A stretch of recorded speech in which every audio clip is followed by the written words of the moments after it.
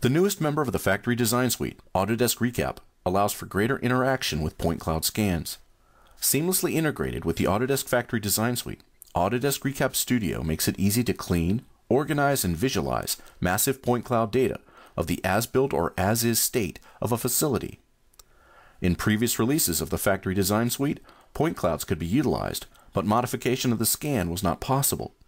Autodesk Recap provides this much needed functionality, allowing designers to delete or even segregate portions of the scan.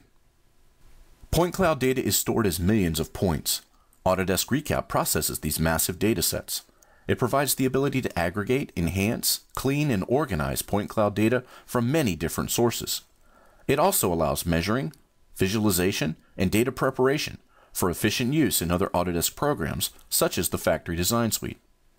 Rather than beginning with a blank sheet, Autodesk Recap enables any designer or factory layout engineer to add, modify, validate, and document their designs in context of existing environments. The ability to manipulate and organize point cloud data is a great benefit of the 2014 release.